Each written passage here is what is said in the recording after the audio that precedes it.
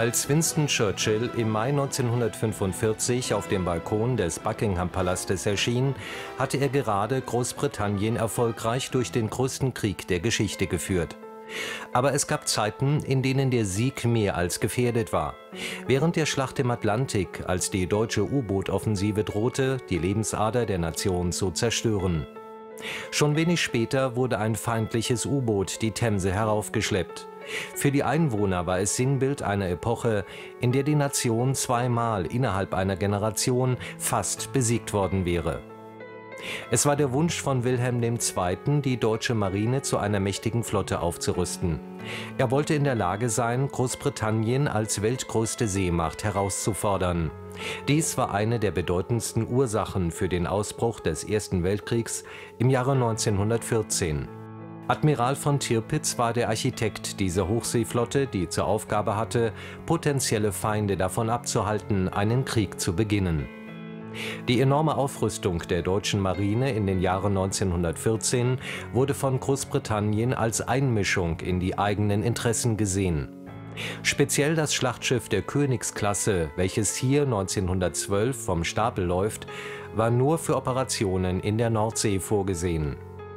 Die Investitionen in die Unterseeflotte waren jedoch nicht sehr groß. Als der Krieg 1914 ausbrach, besaß Deutschland nur 29 U-Boote. Das waren weniger als die französische oder britische Armee zur Verfügung hatten.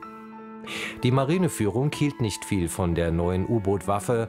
Erst im Laufe des Krieges wurde sie zur Hauptwaffe der Marine entwickelt. Die U-Boote wurden zu Anfang des Krieges nur als Hilfskräfte der Hochseeflotte angesehen. Die ersten Unternehmungen deutscher U-Boote waren nur auf den Patrouillendienst beschränkt. Es ist schon fast Ironie, wie ein Film aus dieser Zeit die Besatzung eines U-Bootes als Helden feierte. Kapitänleutnant Otto Wellingen wurde als glorreicher Anführer der Flotte dargestellt. Dieser Film sollte im Jahre 1914 das Leben auf einem U-Boot nachstellen und damit die Bevölkerung begeistern. Er wurde in ganz Deutschland in den Kinos gezeigt und hatte Parallelen zu den Grauen Wölfen, die unter Admiral Dönitz später eine strategisch wichtige Rolle im Verlauf des Zweiten Weltkrieges spielten als der Krieg im August 1914 ausbrach, unternahmen zehn U-Boote Einsätze zur Fernaufklärung gegen englische Unterwasserstreitkräfte.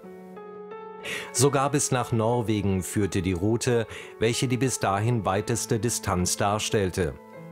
Wellingen fuhr mit U-9, einem kleinen U-Boot, das im Jahre 1910 gebaut wurde, mit neun anderen U-Booten in die Nordsee.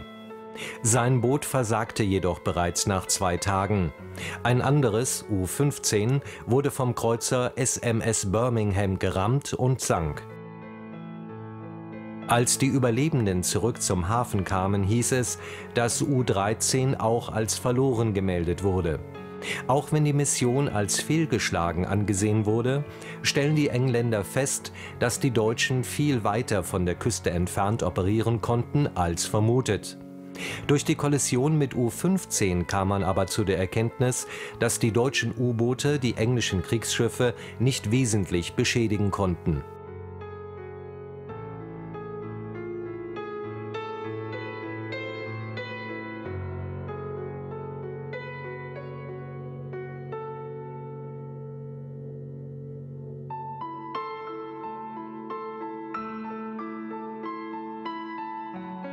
Wellingen wollte nach dieser Enttäuschung schon wenige Wochen später wieder in See stechen.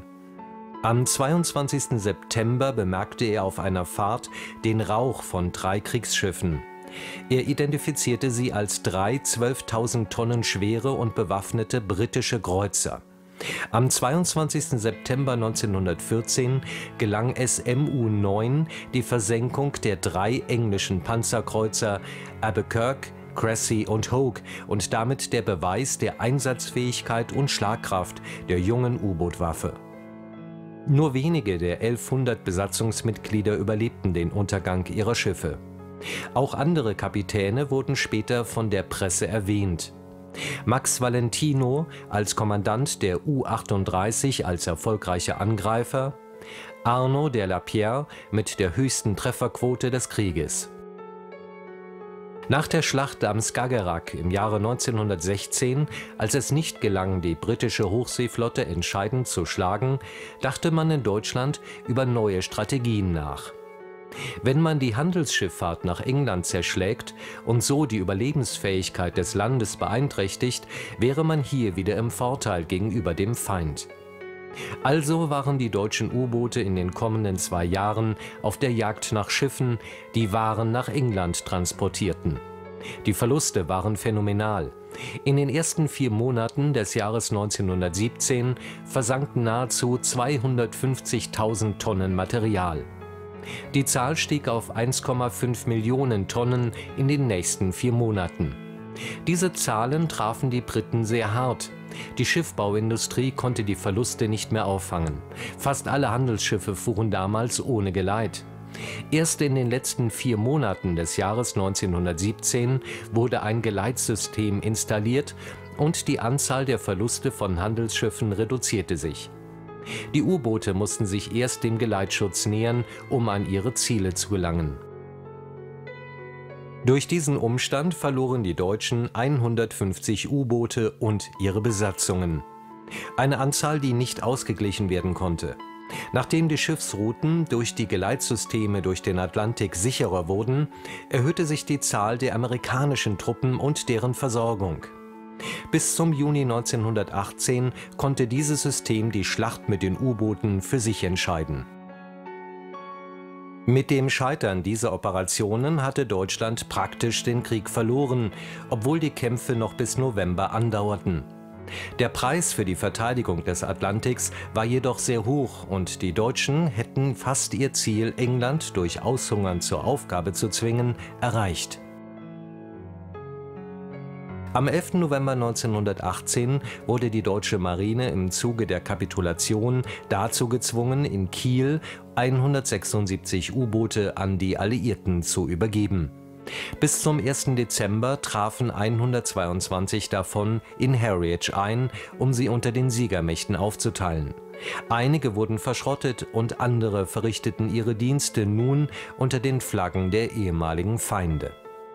Obwohl Deutschland eine militärische Aufrüstung durch die Verträge von Versailles verboten war, fand man doch Mittel und Wege, diese Auflagen zu umgehen. Im Jahre 1922 wurde eine getarnte Firma in Holland gegründet, die U-Boote für ausländische Regierungen bauen sollte. 1927 hatte man eine geheime U-Boot-Entwicklungseinheit und um 1930 war man in der Lage, eine Unterseearmee aufzubauen, wenn es die politische Lage verlangen würde. Und das war soweit, als Hitler 1933 Reichskanzler wurde. Admiral Erich Räder stand beratend zur Seite mit dem Ziel, eine schlagkräftige Marine aufzubauen. Er selbst sagte später, dass Hitler nicht sicher war, ob eine solche Aufrüstung nicht eine Gefahr darstellen könnte. Hitler wollte zu dieser Zeit einen Konflikt mit England vermeiden und bot eine Vereinbarung an. Man einigte sich darauf, dass die britische und die deutsche Überwasserflotte ein Stärkeverhältnis von 100 zu 35 besitzen sollte und Deutschland auch dann an dieser Vereinbarung gebunden wäre, wenn dritte Mächte auf See aufrüsten würden. Hitler bezeichnete den Vertragsabschluss vom 18. Juni 1935 als den glücklichsten Tag seines Lebens. Schließlich hatte er damit von einer der Siegermächte des Ersten Weltkrieges die Zustimmung für eine Aufrüstung erhalten, die weit über die vom Versailler Vertrag vorgesehenen Rüstungsbeschränkungen hinausgingen Räder bereitete die Anbahnung des deutsch-britischen Flottenabkommens ab 1934 mit gemischten Gefühlen vor, denn das letztendlich vereinbarte Verhältnis von 35 zu 100 zur britischen Flotte hielt er für zu niedrig angesetzt da das Abkommen aber endlich den lang ersehnten Bau von Großkampfschiffen gestattete, gab Räder sich zunächst mit den Umständen zufrieden und forcierte den Bau des ersten Schlachtschiffes und des ersten Flugzeugträgers. Im Jahre 1939 präsentierte Räder den Plan Z Dieser Plan sah vier Schlachtschiffe, vier Flugzeugträger, vier Kampfschiffe, fünf schwere Kreuzer, 68 Zerstörer und 249 U-Boote zur Fertigstellung bis spätestens 1948 vor.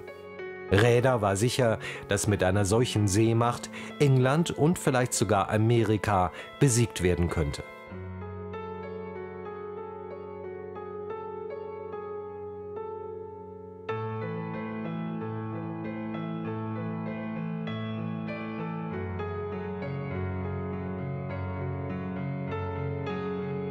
Elf Tage nach dieser Vereinbarung wurde das erste U-Boot seit 1918 in Kiel zu Wasser gelassen.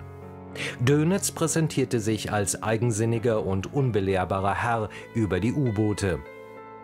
In den Jahren vor dem Krieg formte er die junge Flotte zu einer hocheffizienten Kampfeinheit. Die Manöver lieferten ihm die Idee zu speziellen Strategien. Die erste war, wie schon im Ersten Weltkrieg, die Versorgungslinie Englands durch das Versenken von Handelsschiffen zu zerstören, um England zur Aufgabe zu zwingen. Als zweites waren mehrere U-Boote im Konvoi geplant, um bei Verlust eines Bootes weiter handlungsfähig zu bleiben.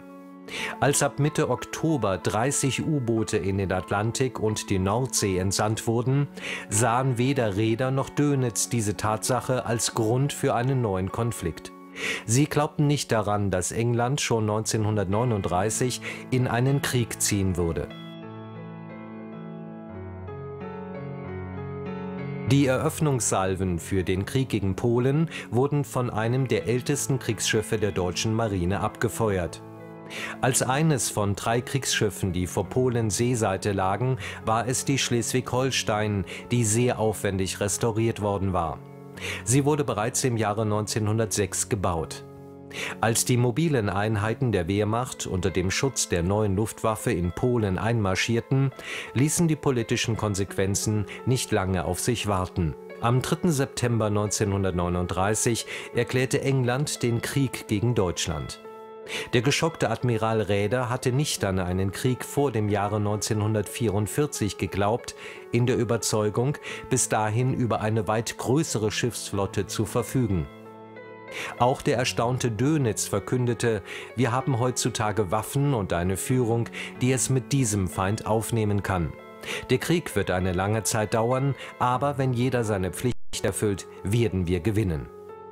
Als die Nachricht vom Ausbruch dieser Feindlichkeiten aus dem Radio kamen, hatte Dönitz 18 U-Boote vom Typ 7 und 9 im Atlantik stationiert. Diese waren von der Nordwestküste Irlands bis zu den Azoren verteilt. Alle hielten sich bis dahin an eine Abmachung namens Priced Rules, die es untersagte, Schiffe anzugreifen. Die Reaktion des Kapitäns der U-30 zeigte, dass sich Deutschland darüber hinwegsetzen würde, obwohl gerade ein neuer Krieg begann.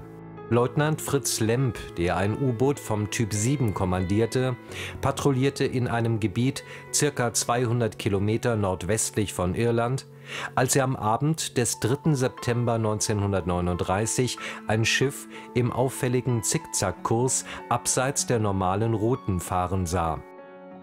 Lemp war in der Annahme, dass es ein bewaffnetes Handelsschiff war und feuerte um 21 Uhr Torpedos und alle trafen. Sein Opfer war allerdings ein Linienschiff mit dem Namen Athenia. Sie war in Liverpool ausgelaufen und hatte 1100 Passagiere an Bord, von denen 112 umkamen, davon 28 Amerikaner. Die Engländer gingen davon aus, dass die deutschen U-Boote das Abkommen gebrochen hatten und ab diesem Zeitpunkt zu uneingeschränkten Kriegshandlungen übergehen würden. Die Gelegenheit, die HMS Courageous zu versenken, löste in Goebbels Propagandaministerium große Begeisterung aus.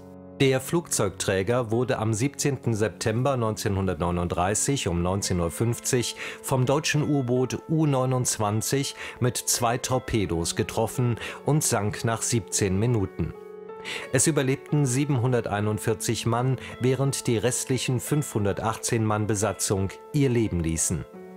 Dönitz sah diesen Abschuss als großen Erfolg an und war der Meinung, dass die britische U-Boot-Überwachung nicht so effektiv war wie angenommen. Das U-Boot sollte noch weitere 16 Schiffe versenken, bis Schuart am 16. Mai 1940 das Eiserne Kreuz verliehen wurde. Als Hitler am 28. September ein U-Boot-Hauptquartier in Wilhelmshaven besuchte, war die Einheit von den vielen Erfolgen voller Selbstbewusstsein ob ihrer glorreichen Taten. Dönitz war froh, dass Hitler die jungen Soldaten traf und auch mit ihnen sprach. Die Begeisterung des Führers für die U-Boot-Einheiten verhalf Dönitz dazu, sein Ansehen nach der Aufstockung der Flotte auf 300 U-Boote vorzutragen. Er war sich absolut sicher, dass man England mit dieser Anzahl besiegen würde.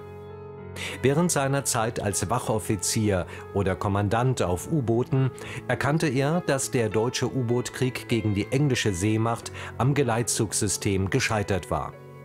Er beschäftigte sich nach seiner Entlassung aus englischer Gefangenschaft 1919 daher theoretisch mit den militärischen Möglichkeiten von U-Booten.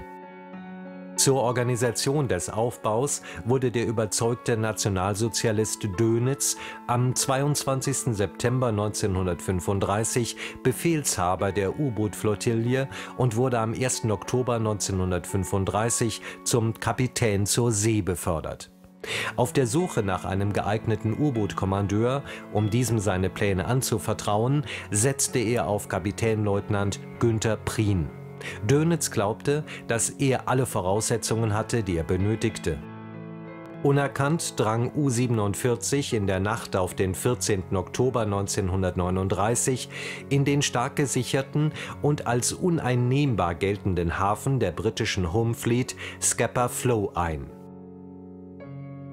Er entdeckte das Schlachtschiff HMS Royal Oak.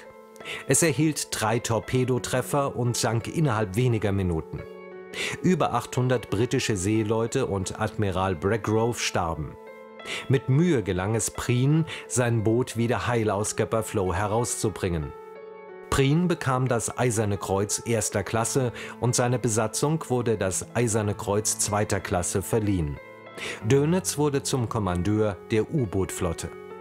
Wann immer Dönitz auf Filmaufnahmen zu sehen war, stach er aus der Menge heraus. Überlebende sprechen noch heute davon, dass er bestimmt einige Schwächen hatte, aber mangelndes Selbstbewusstsein gehörte nicht dazu. Dönitz war der Meinung, dass seine Präsenz die Moral der Truppe erhöhen würde. Seine Art, bei Paraden allen Soldaten der ersten Reihe die Hand zu schütteln und ihnen tief in die Augen zu sehen, wurde oft von Veteranen berichtet.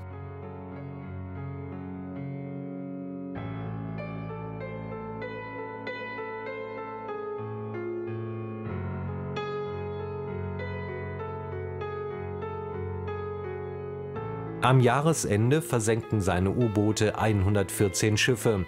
Das entsprach 421.000 Tonnen. Demgegenüber verlor er neun U-Boote. Drei vom Typ A, einen vom Typ 7a, einen Typ B und zwei Typ 2b sanken Ende Oktober. U-35 und U-36 wurden im November und Dezember verloren. Der Winter zur Jahreswende 1939/40 war extrem kalt. Das Meer um Wilhelmshaven und Kiel war total vereist. Eisbrecher mussten Fahrspuren für zurückkehrende U-Boote herstellen. Als U-49 am 19. Dezember 1939 von den Färöer Inseln zurückkam, gab es kein operierendes Boot mehr im Atlantik. Das lag an dem Produktionsplan, welcher nur die seit September verlorenen U-Boote wiederhergestellt hatte, welches an einem chaotischen Werftsystem lag.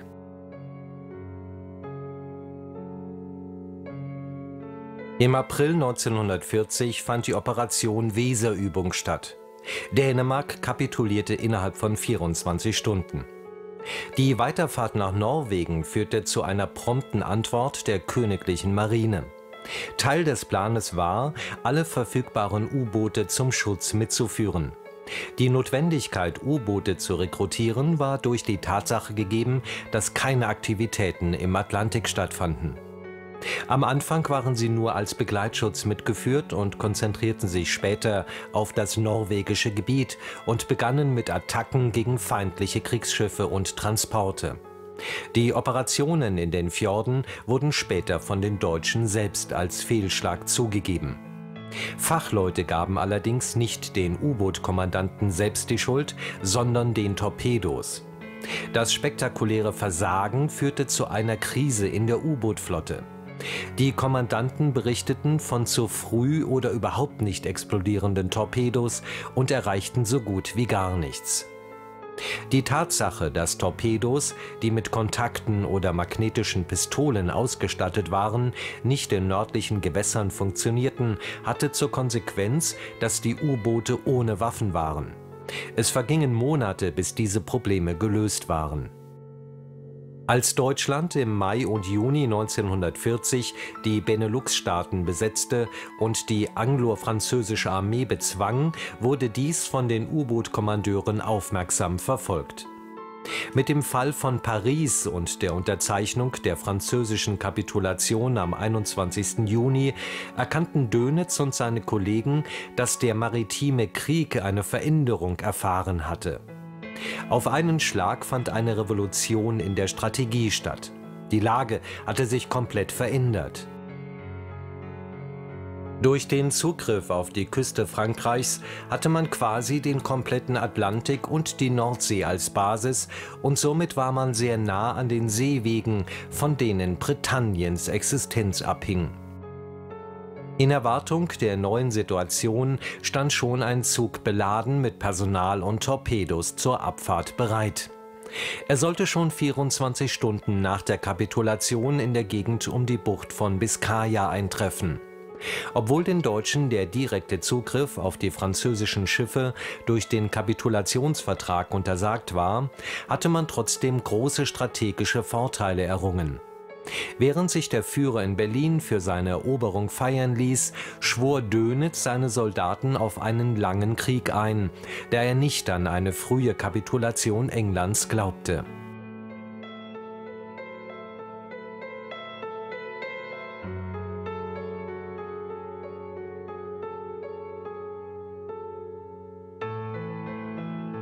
Am 7. Juli steuert Kapitänleutnant Fritz Lemp die U-40 in den Hafen von Lorient. Der Hafen im Süden der Bretagne war der erste, der von den Deutschen wieder in Betrieb genommen wurde. Von diesem Ort wurden mit die meisten U-Boot-Operationen im Atlantik gestartet. Kurze Zeit später erreichte die U-9, eigentlich für die Türkei gebaut, aber von den Deutschen übernommen, den Hafen. Dönitz stand bereit, um beide Mannschaften zu begrüßen. Er war kurz davor, sein U-Boot-Hauptquartier von Wilhelmshaven nach Lorient zu verlegen.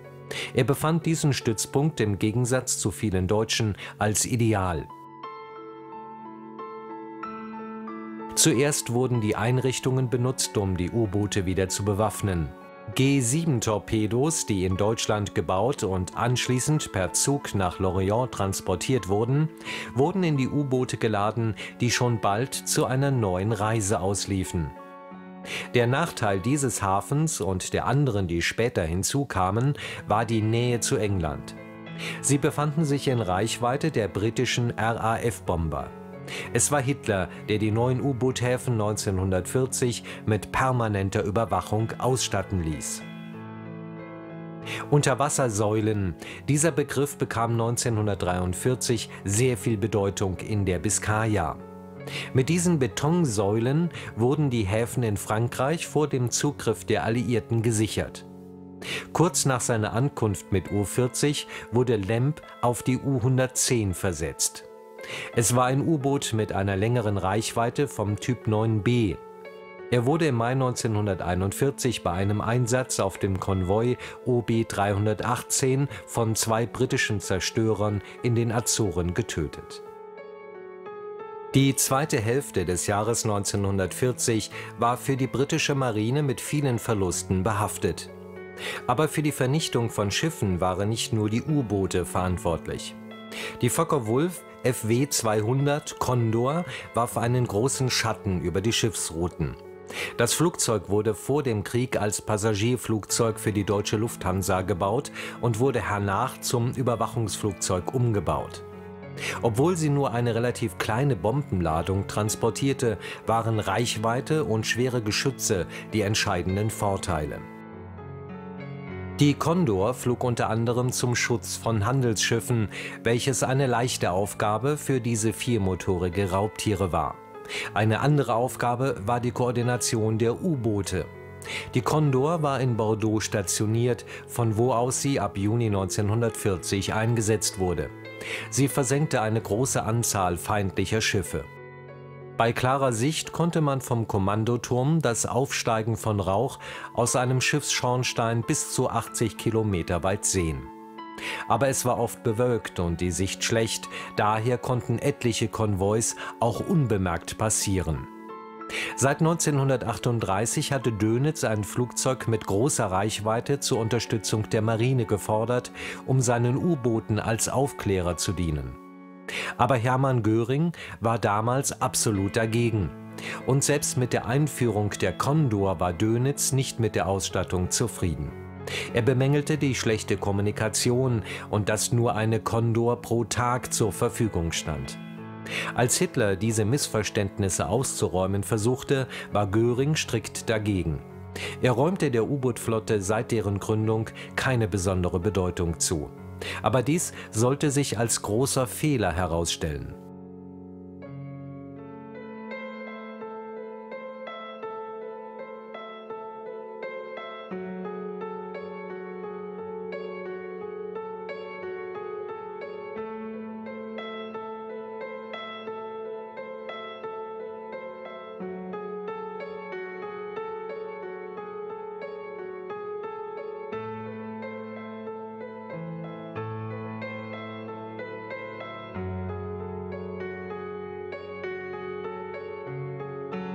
Es ist nicht überraschend, dass die Zeit zwischen Juni und Oktober 1940, in welcher die deutschen U-Boote eine Großzahl der englischen Handelsschiffe versenkten und eine Übermacht in der Nordsee darstellten, für die Briten immer mehr Anlass zur Besorgnis war. In der Befürchtung, dass die Deutschen den Ärmelkanal für eine Seeinvasion nutzen würden, änderten sie ihr militärisches Konzept, um der drohenden Katastrophe entgegenzutreten. Es wurden alle Kräfte mobilisiert, die zur Verfügung standen, um sich auf die Verteidigung des eigenen Landes zu konzentrieren. Das Versenken der Schiffe, egal ob alleine oder im Konvoi fahrend, nahm immer größere Ausmaße an, zumal in Frankreich immer mehr Häfen wie Brest, Saint-Lausanne und Bordeaux als U-Boot-Häfen umgebaut wurden, um immer mehr U-Booten den Weg zu den Schiffsrouten im Atlantik zu ermöglichen. Diese Maßnahmen und die allgemeine Lage des Kriegsverlaufs zu dieser Zeit bescherten der deutschen U-Boot-Flotte eine gute Zeit. Dem Verlust von sechs U-Booten stand eine Zahl von 275 versenkten Schiffen gegenüber. Der schlimmste Monat für die Briten war der Juli. Es wurden neben 58 Schiffen, die von deutschen U-Booten versenkt wurden, auch noch 22 von der Luftwaffe versenkt. Eine unglaubliche Summe von 479.000 Tonnen. In der Nacht zum 21. September hatten die U-Boote mit der Bezeichnung 99, 65, 48, 46 und 43 mit dieser Methode den Konvoi HX-72 angegriffen und versenkten erfolgreich elf Schiffe. Am 19. Oktober wurde auf die gleiche Weise der Konvoi HX-79 attackiert und zwölf Schiffe versanken. Ein britischer Kapitän berichtete, dass die U-Boote aufgrund ihrer Bauweise kaum zu orten sind und wenn doch, verschwinden sie aufgrund ihrer Wendigkeit schnell unter den Wellen oder fahren Ausweichmanöver. Es ist fast aussichtslos, sie anzugreifen und wir sind ihnen mehr oder weniger hilflos ausgeliefert. Für Dönitz waren diese Ergebnisse die Bestätigung seiner langjährigen taktischen Forschungen. Hier läuft die U-99 unter dem Kommando von Korvettenkapitän Kretschmar im Hafen von Lorient ein. Mit einer Quote von 314.000 Tonnen versenktem Material ist er einer der erfolgreichsten Kapitäne dieser Ära und wurde als U-Boot-Ass gefeiert. Er übernahm im April das Kommando über die U-99, nachdem er neun Fahrten mit der U-23 absolviert hatte.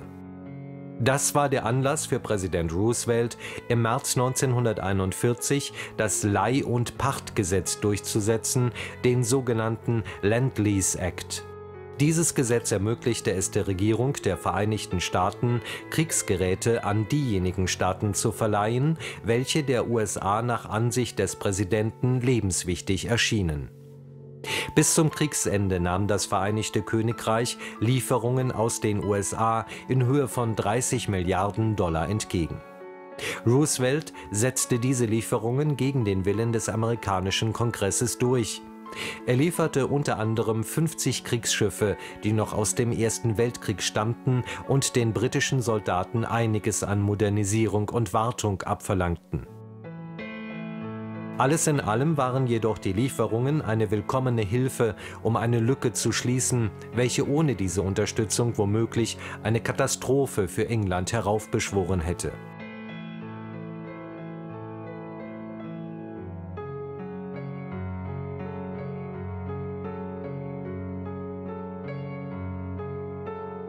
Das Sunderland-Flugboot war zusammen mit dem Hudson Patrol Bomber das einzige wirklich moderne Flugzeug der britischen Luftfahrt im Jahre 1939 und war erst im Jahre 1940 in größeren Stückzahlen verfügbar mit einer maximalen Reichweite von 4600 Kilometern war die Sunderland die einzige Maschine, die weit bis über die Konvoirouten hinaus fliegen konnte.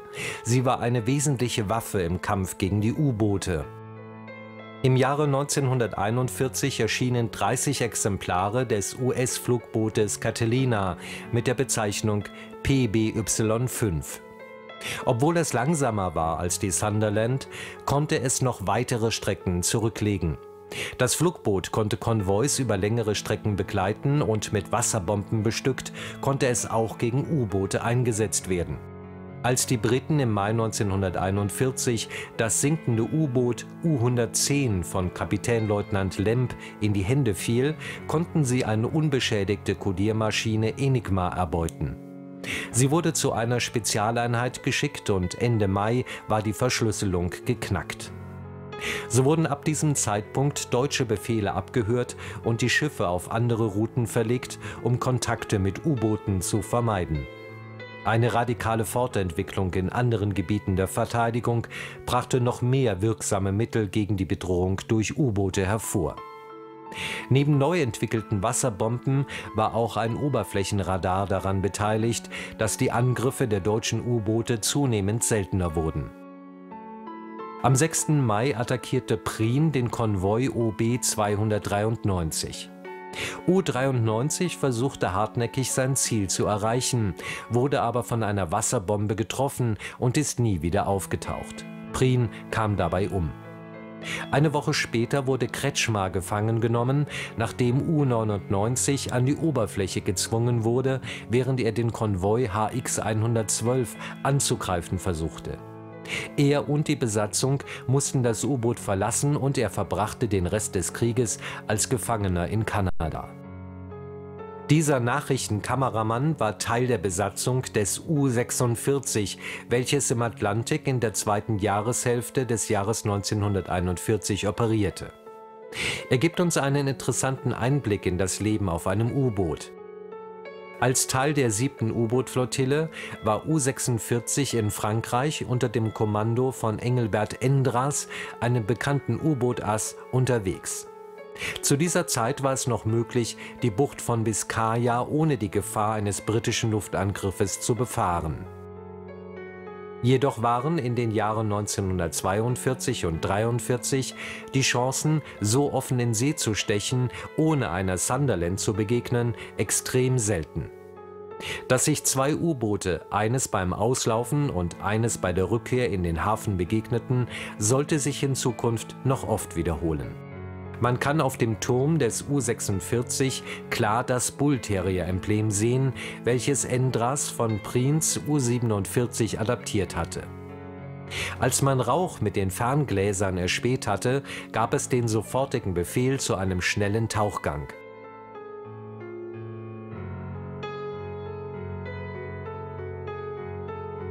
Die Besatzung stürzte in das Innere des U-Bootes, gefolgt von Endras persönlich. Sobald das U-Boot zu sinken beginnt, startet die Besatzung die zwei Elektromotoren, während die beiden Propellermotoren, welche das Boot über Wasser antreiben, ausgeschaltet werden. Die großen Akkus, welche den Elektromotoren die Kraft zum Antrieb verleihen, verhelfen dem Boot zu einer maximalen Geschwindigkeit von 7 Knoten. Diese geringe Geschwindigkeit machte den Angriff auf Geleitschiffe schwierig, weil diese oft schneller waren. Man verlegte daher die Operationen in die Nacht, damit die U-Boote sich unerkannt über Wasser mit bis zu 17 Knoten mittels des herkömmlichen Antriebs nähern konnten. Diese langsame Unterwassergeschwindigkeit war auch dafür verantwortlich, dass ab 1941 Begleitschiffe, die schneller und beweglicher waren als die U-Boote, diese vermehrt versenken konnten. Während U-46 knapp unter der Oberfläche fuhr, sendet Endras die Periskopstrahlen aus, um den Standort des feindlichen Schiffes zu bestimmen. In Anbetracht der Tatsache, dass das Schiff ohne Geleitschutz fährt, ordnet Endras den Abschuss dieses Frachters mit dem Außengeschütz an. Die Munition wurde aus einem wassergeschützten Behälter auf dem Vorderdeck entnommen. Normalerweise wird das Geschütz erst nach einem Torpedoangriff benutzt, aber da Torpedos sehr teuer waren und das U-Boot nach dem Abfeuern der Vorräte zurück zum Hafen musste, wird nach Möglichkeit das Geschütz verwendet. Dieses Frachtschiff ist bewaffnet und beginnt zurückzuschießen. Doch das Feuer ist nicht der Rede wert und die Geschosse aus dem 88 mm Geschütz des U-Bootes auf die Wasserlinie des Frachters besiegeln sein Schicksal und es beginnt zu sinken.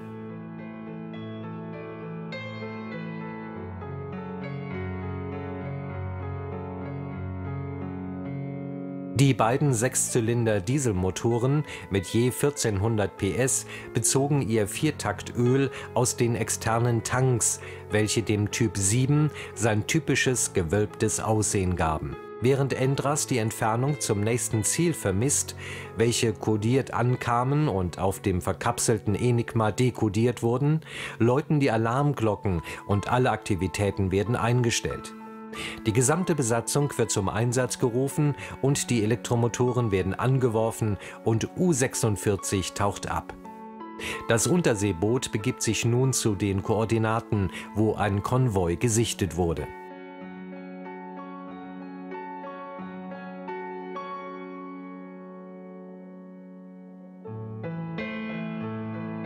Endres observiert den Horizont und erblickt den Konvoi in Reichweite. Ein Ziel wird ausgewählt.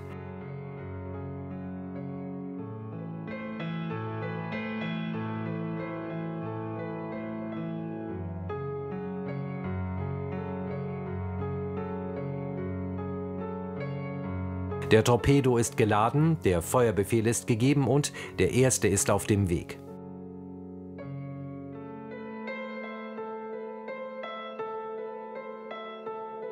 Ein Jubelschrei ertönt, als der Treffer registriert wird.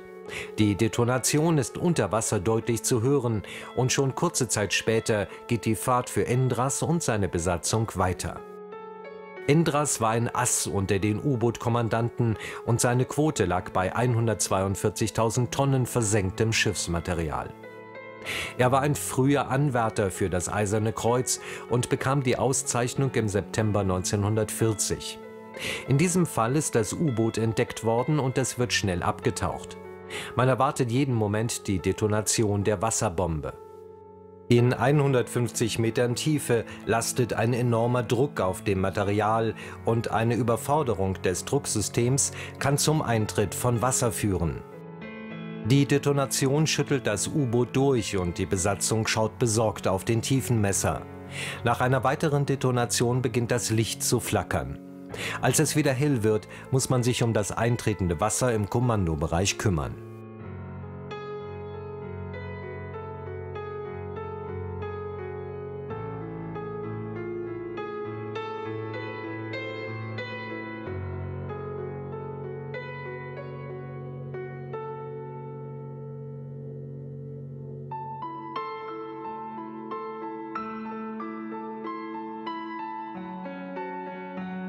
Der Wassereintritt ist gestoppt und das U-Boot begibt sich langsam wieder auf Periskoptiefe.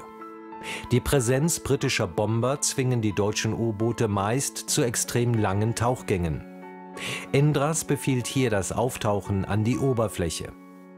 Mit dem Eintritt der Dunkelheit und dem Umschwung des Wetters war die Besatzung gezwungen, wasserdichte Kleidung zu tragen, wenn sie auf dem Beobachtungsposten standen. Die Wetterverhältnisse im Atlantik waren oftmals sehr schlecht und somit auch die Sichtverhältnisse.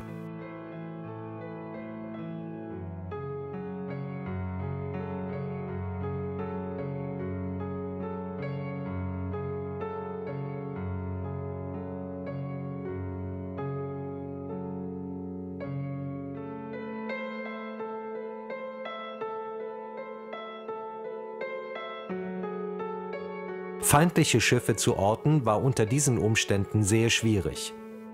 Der Beobachtungsturm der U-Boote war nicht sehr hoch und machte der Besatzung die Aufgabe nicht leicht. Im Inneren nutzten einige derweil die Möglichkeit zu einem kurzen Schlaf, obgleich aufgrund der geringen Größe eines U-Bootes die Schlafmöglichkeiten oft primitiv waren. Oft war daher der heiße Bettentausch an der Tagesordnung. Ein Soldat legte sich in das Bett, aus welchem ein anderer Soldat gerade zum Dienst aufgestanden war. Sogar die Schlafmöglichkeiten für die Offiziere waren nicht wesentlich besser. Für die Torpedobesatzung war die Wartung und Instandhaltung der Torpedos eine sehr wichtige Aufgabe. Die Torpedos wurden hierzu alle vier bis fünf Tage zwecks der Wartungsarbeiten aus ihren Röhren geholt. Der Kapitän selbst wurde hier aus dem Bett geholt, um ein Besatzungsmitglied zu versorgen, welches sich dem Arm verletzt hatte.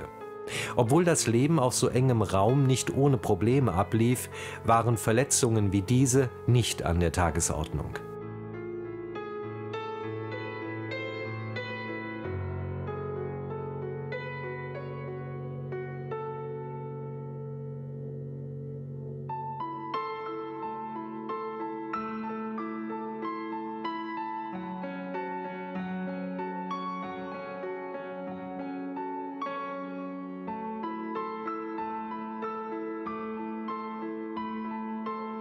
Auf der Brücke wird der Horizont abgesucht, während das U-Boot durch die schwere Atlantische See sticht. Plötzlich entdeckt man Rauch am Horizont. Nach einer kurzen Diskussion der Besatzung wird Alarm ausgelöst. Die Glocke erklingt auf dem gesamten Schiff und die Besatzung bereitet sich auf den Tauchgang vor. Die Männer, die eben noch auf ihren Pritschen gelegen haben, begeben sich in Windeseile zu ihren Positionen. Lilly Marleen ist vergessen, als die gut ausgebildeten und pflichtbewussten Männer mit ihren Aufgaben beginnen.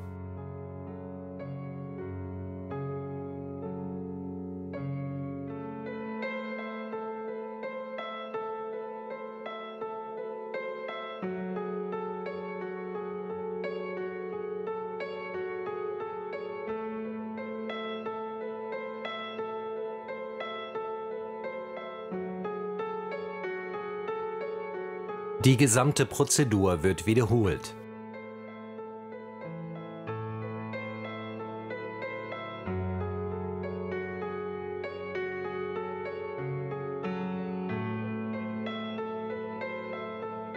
1941 auf einer späteren Fahrt übernahm Endras das Kommando über U-567, ein Typ 7C, mit welchem er in eine Schlacht mit Begleitschiffen des Konvois HG-76 eine Woche vor Weihnachten verwickelt war.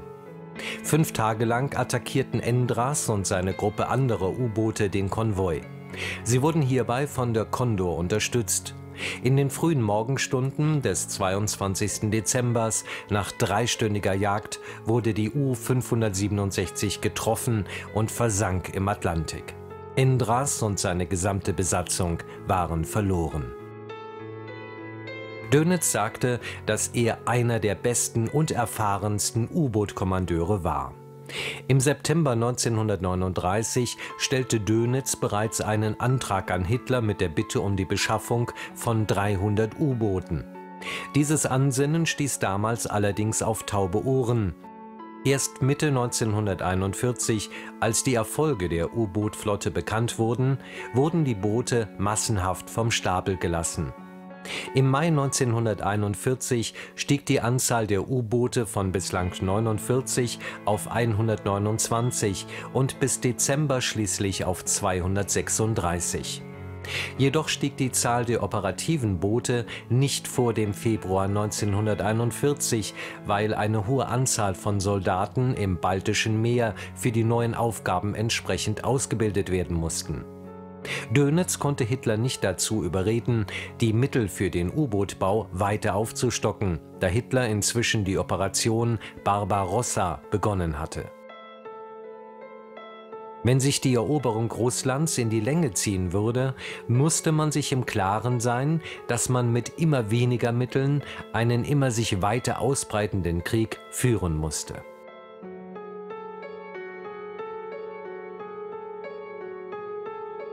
Dönitz versuchte vergeblich durch Admiral Räder Hitler davon zu überzeugen, dass U-Boote auch in den Mittelmeerraum zu verlegen seien. Erst am 26. August erhielt Dönitz den Befehl, sechs U-Boote aus dem Atlantik in das Geschehen im Mittelmeer zu beordern, um dem Bündnispartner Italien zu Hilfe zu kommen. Man wollte die Front in Nordafrika unterstützen.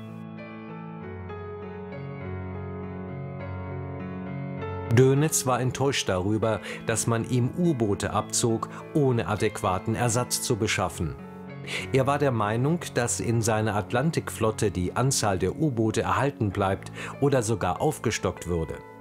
Er war nicht begeistert davon, mit einer minimierten Flotte gegen den immer stärker werdenden Feind anzutreten. Hitler war sich in der Beurteilung seines italienischen Partners nicht ganz sicher. Die Briten begannen im Mittelmeer immer mehr Erfolge zu erringen. Anders als in diesem italienischen Propagandafilm kam es immer häufiger zu britischen Teilerfolgen, seit Italien dem Krieg im Mai 1940 beitrat.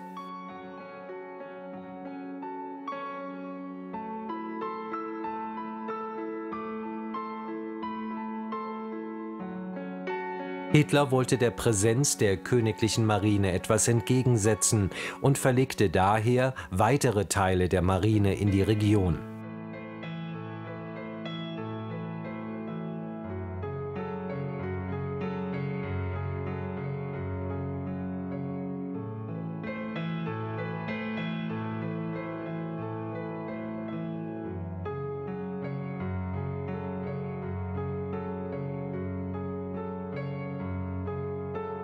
Das erste U-Boot erreichte die Region im September und wurde an der Nordwestküste Italiens stationiert.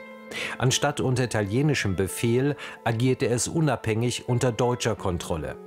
Es unterstützte die relativ große, aber weitgehend uneffektive italienische U-Boot-Flotte. Ein wichtiges Ereignis, um das Ansehen zu verbessern, war die Vernichtung des britischen Flugzeugträgers Ark Royal. Er wurde von den U-Booten U-81 und U-205 am 30. November getroffen. Aufgrund der starken Beschädigungen sank das Schiff wenig später und die Briten hatten damit keinen Flugzeugträger mehr für Operationen im Mittelmeerraum.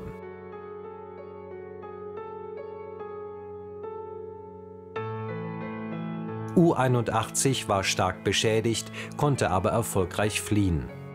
Es war Kapitänleutnant Friedrich Guggenberger, der bei seiner Rückkehr nach La Spezia von der italienischen und deutschen Presse erwartet wurde und das Eiserne Kreuz verliehen bekam.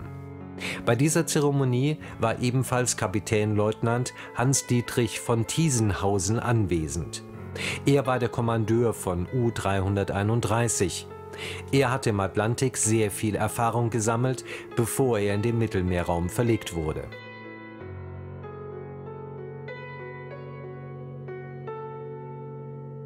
Es war am 25. November, als Tiesenhausen an der Küste eine große Formation englischer Kriegsschiffe entdeckte, darunter drei Schlachtschiffe und acht Zerstörer.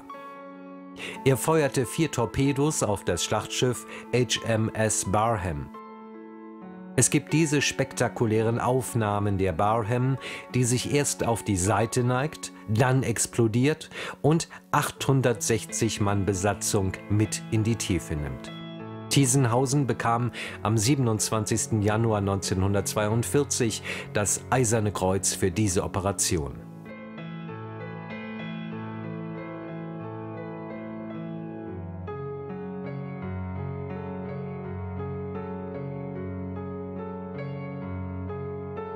Ein deutsches U-Boot auf seiner letzten Reise.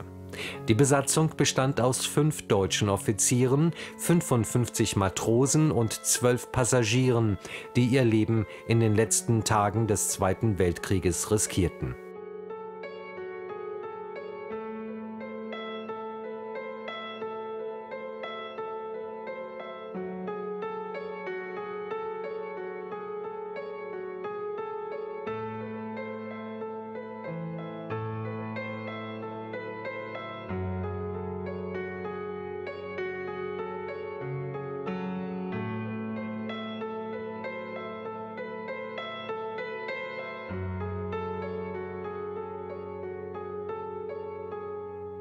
Die Chancen für den Erfolg der Operation standen bei 50 zu 50.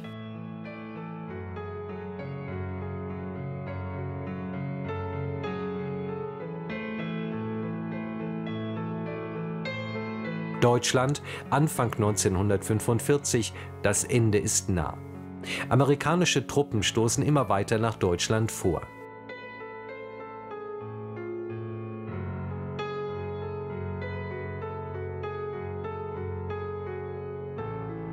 Hitlers Armee steht vor dem Zusammenbruch, die Alliierten gewinnen den Krieg.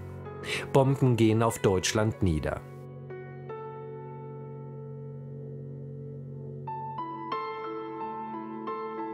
Die Alliierten zerstören große Gebiete des Landes, obgleich auch hier viele Beschädigungen stattfanden, waren Teile des Hafens von Kiel noch einsatzfähig. Der U-Boot-Hafen, in welchem ein U-Boot für einen geheimen Einsatz vorbereitet wurde, und die Bezeichnung des U-Bootes war U-234. Dieses Unterseeboot sollte eine streng geheime Mission erfüllen und die Besatzung wurde auf eine lange Reise eingeschworen. U-234 war ein modifizierter Minenleger, der letzte dieser Größenordnung. Zur Überraschung aller Beteiligten wurde es nicht zur Verteidigung Deutschlands, sondern als Transport-U-Boot eingesetzt. Kapitänsleutnant Heinrich Fehler. Er war kein erfahrener U-Boot-Fahrer, dies sollte seine erste Kriegsmission sein, aber nach all den Verlusten war er der beste Mann, den man für diese Mission verpflichten konnte. Vor der Abreise gab es ein großes Fest mit reichlich Speisen und Getränken, bei dem alle auf die Notwendigkeit dieser Reise eingeschworen wurden.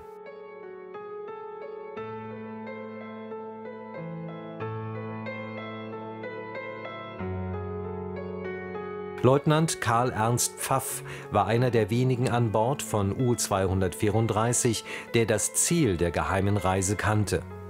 Pfaff organisierte die Belagerung des U-Bootes. Er sorgte dafür, dass jeder freie Zentimeter des Lagerraums genutzt wurde. Einige Frachtstücke waren in versiegelten Containern angeliefert worden. Diese wurden in einem besonderen Frachtraum tief im Bauch des Bootes deponiert. Niemand ahnt, was sich in ihnen befindet.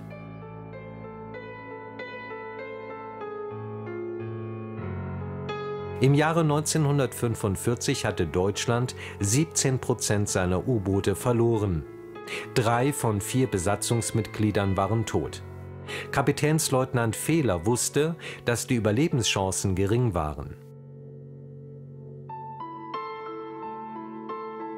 Am 25. März 1945. U-234 verlässt Kiel und taucht in von Alliierten kontrolliertes Wasser ein. Von nun an sind Fehler und seine Besatzung ihrem Schicksal ausgeliefert.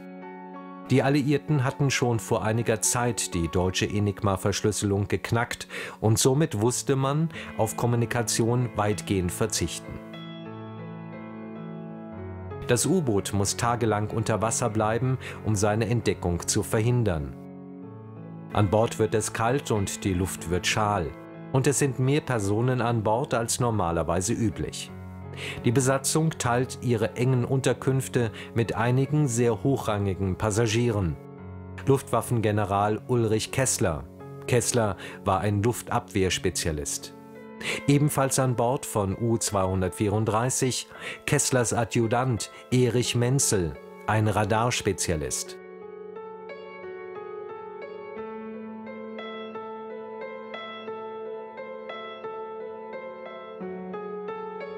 Als nächster ein junger Marineoffizier, Heinz Schlicke, ein Elektronikspezialist.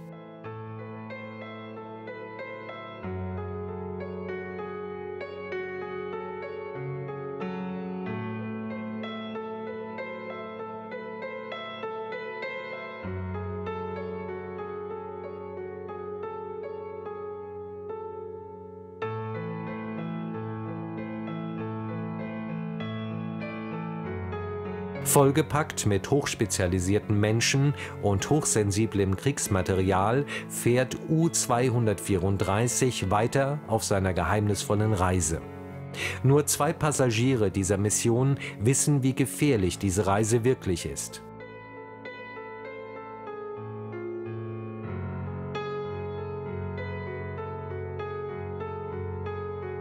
Kapitänsleutnant Shinshiro Tomogana und Leutnant Genso Shoi, hochrangige Offiziere der japanischen Armee.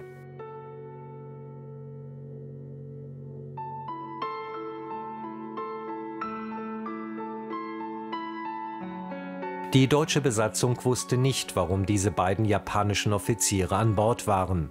Auch die Familien der beiden wussten nicht genau, wie es ihren Söhnen in der Fremde erging.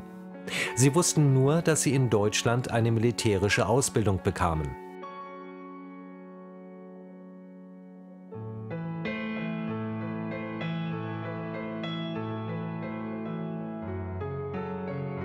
Tomonaga und Choi hatten viereinhalb Jahre in Deutschland verbracht. Sie studierten Waffensysteme und taktische Kriegsführung von den deutschen Verbündeten. Nun sollten sie ihre Heimat im Kampf um das Überleben unterstützen.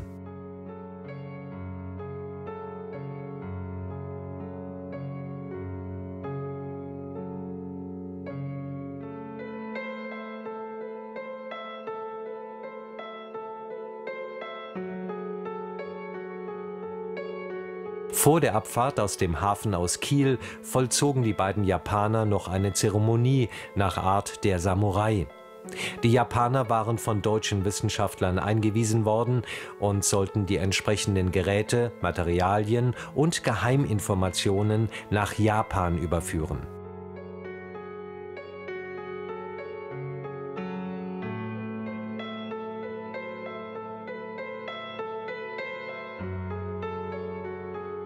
Und was waren das für Dinge, die U-234 nach Japan überführen sollte?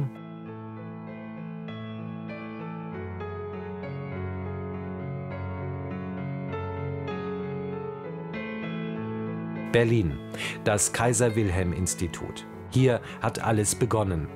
Deutschland ist der Geburtsort der nuklearen Wissenschaften. Im Jahre 1938 wurde die nukleare Kernspaltung von Otto Hahn entdeckt und mit dem herannahenden Krieg will Deutschland eine Atombombe. Sie beauftragen diesen Mann, sie zu bauen, Werner Heisenberg. Wenn ein Krieg ausbrechen würde, hätte ein solches Projekt eine Schlüsselrolle. Heisenberg ist brillant, ein Physiker auf dem Zenit seiner Karriere, als der Krieg ausbrach. Die Suche nach einer Waffe, die den Ausgang eines Krieges entscheiden konnte, war auch in Japan in Planung.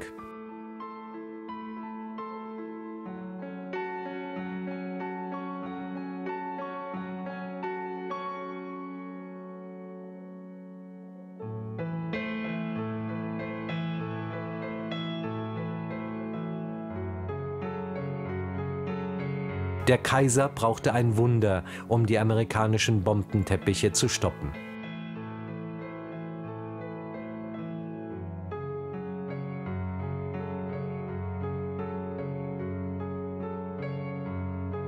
Und Tomonaga bringt nicht nur das nach Japan. Er hat das Material bei sich, das diese Waffe möglich machen kann.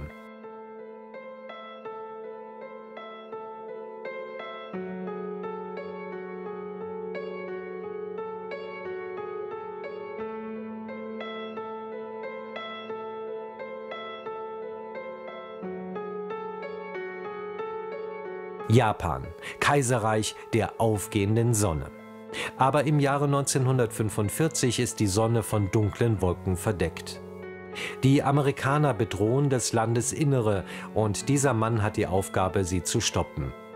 Noshio Nishina Tokio. In diesem Gebäude versuchen Nishina und seine Leute, das zu erreichen, was Heisenberg vergeblich in Berlin versuchte, eine nukleare Bombe zu bauen. Aber es gibt ein Problem, dessen Lösung noch lange auf sich warten lassen sollte.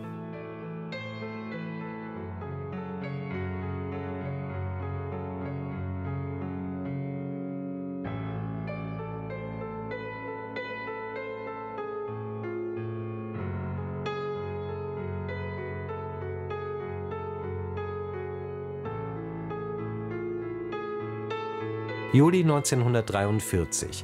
Der japanische Botschafter in Berlin bekommt ein geheimes Telegramm. Tokio bedrängt ihn, den Export von Uran aus den Minen von Joachimsthal zu organisieren, einer der wenigen Orte in Europa, die diese Substanz zutage fördern konnte. Immer und immer wieder bitten die Japaner Berlin um Hilfe. Sie brauchen dringend das deutsche Uran. Der japanische Botschafter Hiroshi Oshima bittet um ein persönliches Gespräch mit der Regierung.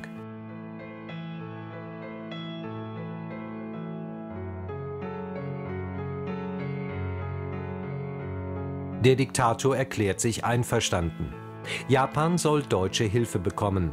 Hitler befiehlt, dass den Japanern jegliche Unterstützung in waffentechnischer und wissenschaftlicher Hinsicht gewährt werden soll.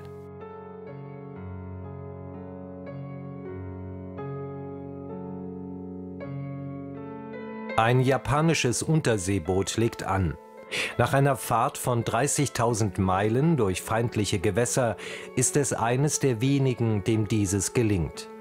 Aber zu dieser Zeit war es der einzige Weg, die deutsch-japanische Zusammenarbeit am Leben zu erhalten. Es waren zuvor schon zwei U-Boote mit Uran an Bord in Richtung Japan gesandt worden, doch keines von ihnen kam an.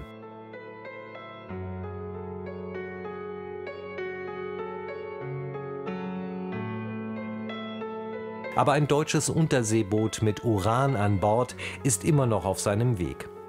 U-234 kommt immer wieder unter Beschuss. Die alliierten Verbände scheinen genau zu wissen, wo sie nach dem deutschen U-Boot suchen müssen.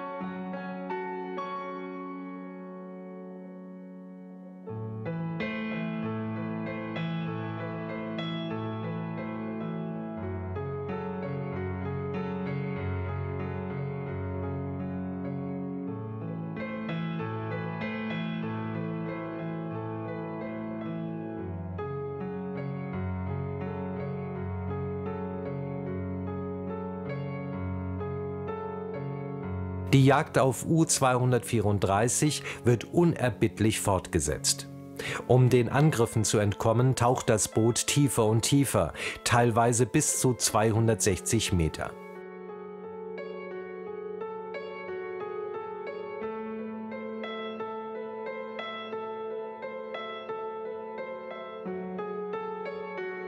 Nach mehr als zwei Wochen eine Chance.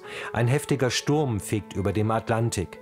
Die einzige Gelegenheit für Kapitänleutnant Fehler, aufzutauchen, ohne von feindlichen Flugzeugen oder Schiffen entdeckt zu werden.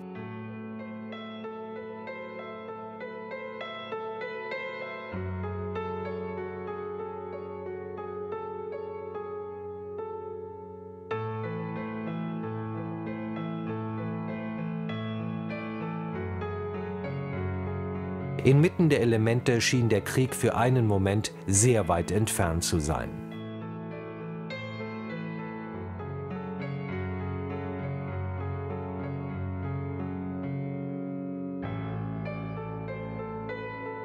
Berlin am gleichen Tag. Eine Orgie des Tötens und des Zerstörens überzieht Hitlers Deutschland in seinen letzten Tagen. 2. Mai 1945. Die Generäle, die mit Hitler bis zum Ende zusammen waren, verlassen den Bunker.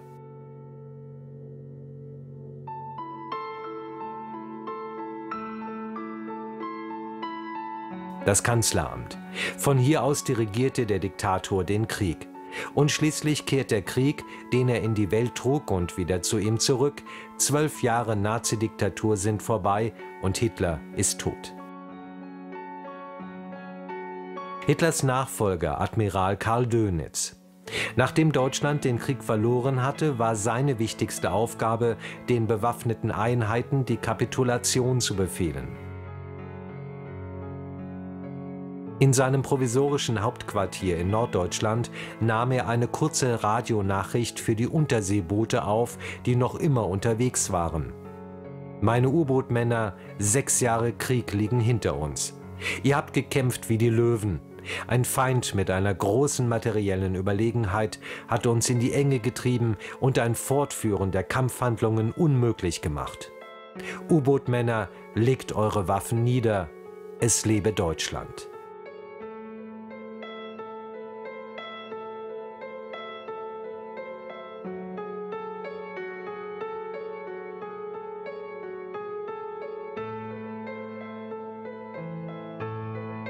Aber ein Unterseeboot kapitulierte nicht. Siegesfeiern in London. England hat fünf Jahre lang widerstanden. Das gleiche Bild in Paris. Die Menschen in Europa sind vom Krieg befreit. Aber für U-234 ist der Krieg noch nicht vorbei.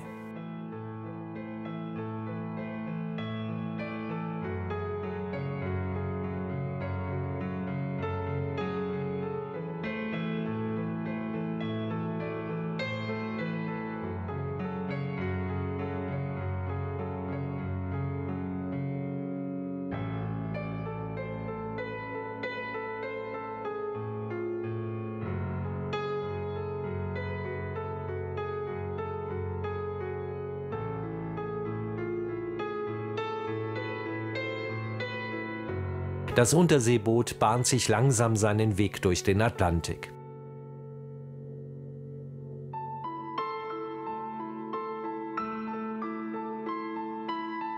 Die Atmosphäre an Bord ist gereizt. Kapitänleutnant Fehler weiß, dass Japan nicht zu erreichen ist. Sollen sie kapitulieren? Und wenn ja, wo? Kapitän Fehler muss eine Entscheidung treffen. Er ruft seine Mannschaft zu einer Besprechung zusammen und will hören, wie seine Männer die Lage beurteilen.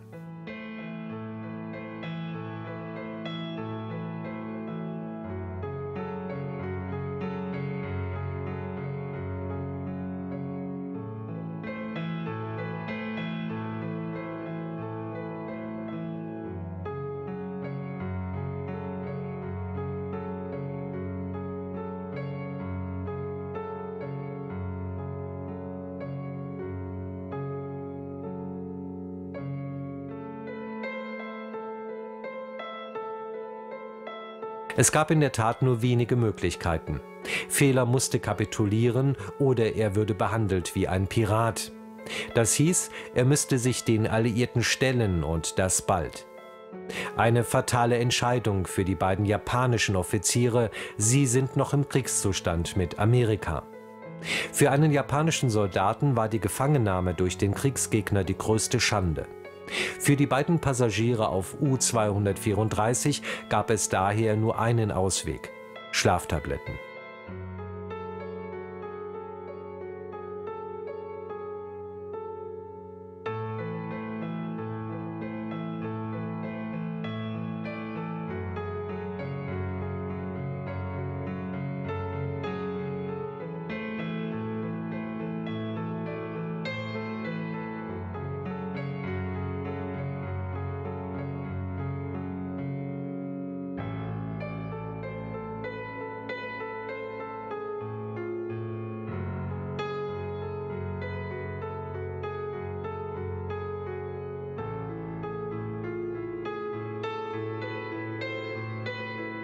Die deutsche Betreuung machte sich Sorgen. Die beiden Japaner waren nach dem Wecken stundenlang nicht gesehen worden. Man fand sie in ihren Betten, bewegungslos. Auf dem Tisch vor ihren Betten ein leeres Wasserglas, private Fotos und ein Brief. Selbstmord ist besser als Kapitulation. Das gebietet die Lehre des Samurai.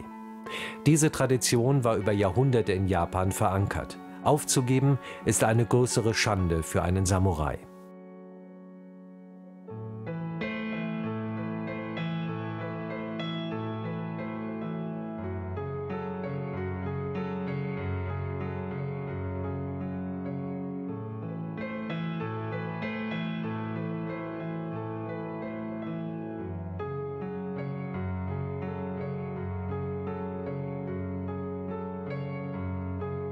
Die letzten Worte der toten Männer Tomonaga und Shoi haben ihre Mission beendet.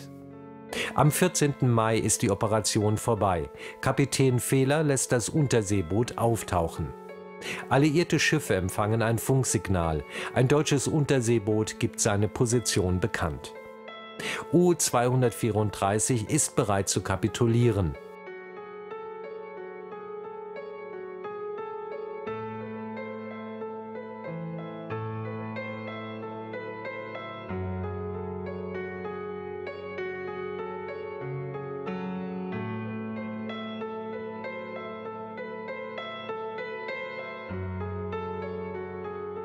'Als die Amerikaner herausfanden, welches U-Boot kapitulierte, hatten sie keine Zeit zu verlieren.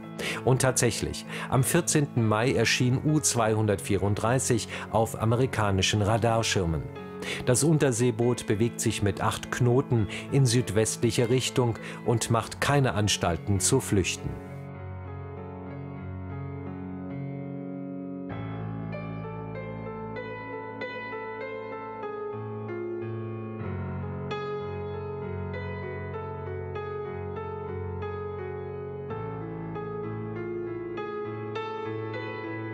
500 Kilometer vor Neufundland erreichte die USS Sutton das Boot. Der erste Satz, den die deutsche Besatzung zu hören bekam, war, sie sind ab sofort Gefangene der Vereinigten Staaten.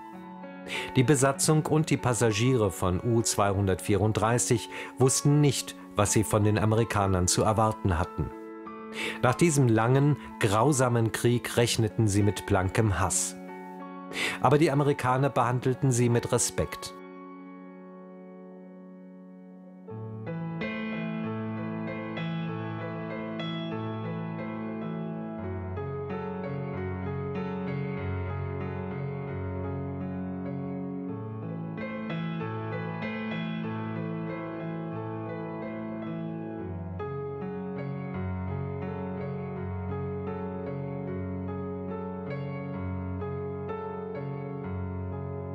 'Das letzte deutsche Unterseeboot fährt in einen amerikanischen Hafen. Das letzte Antreten der Mannschaft an Deck von U-234.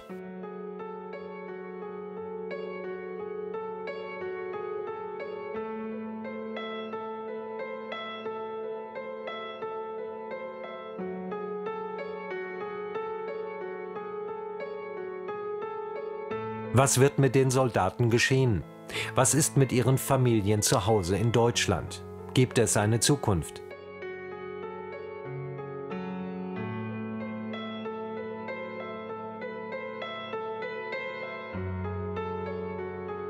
Zwei andere U-Boote hatten zuvor schon in Portsmouth kapituliert. Aber dieses Mal ist alles anders. Es herrscht der Ausnahmezustand. Die Offiziere untersagten jegliche Gespräche mit den Besatzungsmitgliedern von U-234. Zuwiderhandelnde Personen wurden sofort erschossen. Kapitän Fehler vollzieht seine finale Mission. Fast 60 Tage verbrachte er in einem von Feinden übersäten Ozean, ohne ein einziges Besatzungsmitglied zu verlieren. Fehler ist der letzte Offizier, der das Boot verlässt. Die Passagiere folgen. Für die Reporter scheint dieser Mann der größte Fang zu sein. Ein hochrangiger Nazi-General in Springerstiefeln und Ledermantel, Ulrich Kessler. Aber dieser Gefangene sollte noch wichtiger für die Amerikaner sein. Leutnant Karl Ernst Pfaff. Das Gefängnis, ein dunkler, unheimlicher Ort. Jetzt beginnen die Verhöre.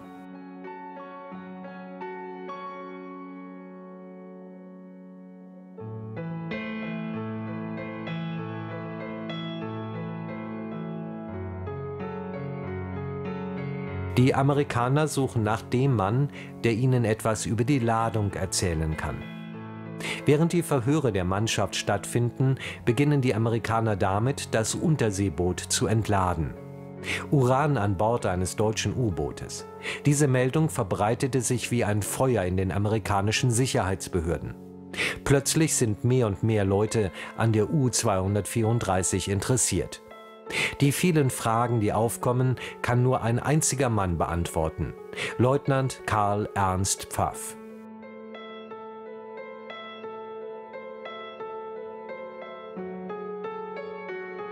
Robert Oppenheimer, der Vater der amerikanischen Atombombe. Ein geheimer Militärstützpunkt in der Wüste von Neumexiko.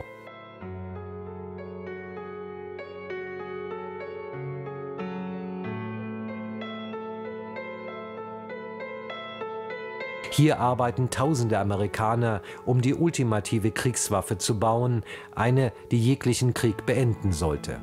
Sie kommen aus aller Welt, brillante Physiker, einige von ihnen sind Juden aus Deutschland. Alle haben das Ziel, den Wahnsinn zu beenden. Unter ihnen Hans Beek.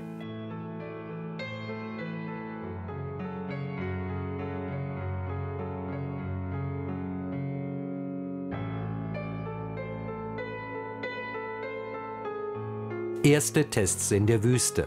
Doch der Erfolg ließ auf sich warten. Wo ist die kritische Masse? Diese Frage kann man zunächst nicht beantworten. Nicht in Berlin, nicht in Tokio und nicht in der Wüste von Neumexiko.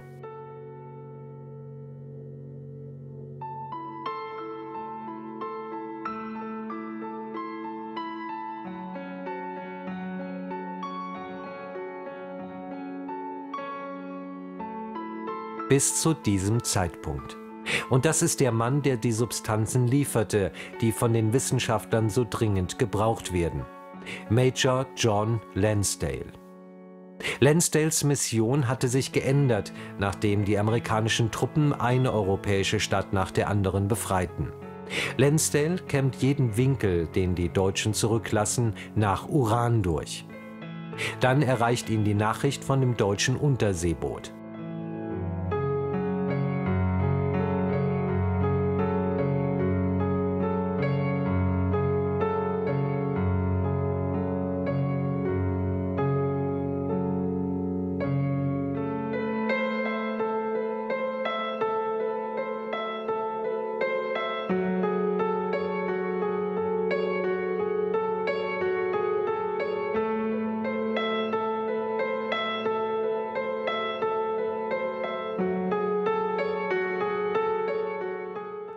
Ridge, Tennessee. Hier wird Uran aufbereitet und angereichert.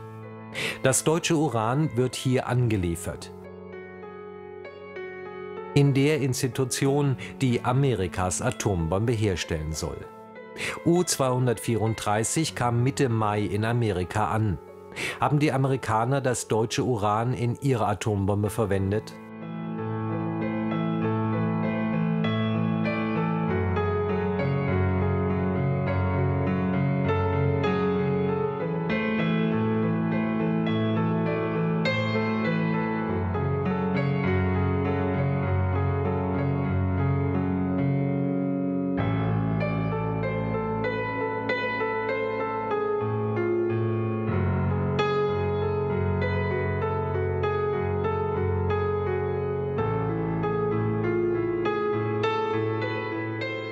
6. August 1945, der Tag, der den Krieg beenden wird. Die Besatzung der Enola Gay bekommt ihre Anweisung, das Ziel ist Hiroshima.